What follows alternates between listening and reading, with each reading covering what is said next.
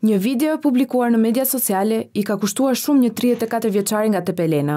34 vjeçari me iniciale AK, dy ditë më parë ishte filmuar teksa kryente manovra të rrezikshme në rrugë, duke rrezikuar jetën e tij dhe të qytetarëve të tjerë. Ai shihet teksa lë timonin e mjetit dhe hipën mbi makinë dhe gjatë gjithë kohës filmohet, dhe pamjet janë publikuar në TikTok dhe mediat e tjera sociale.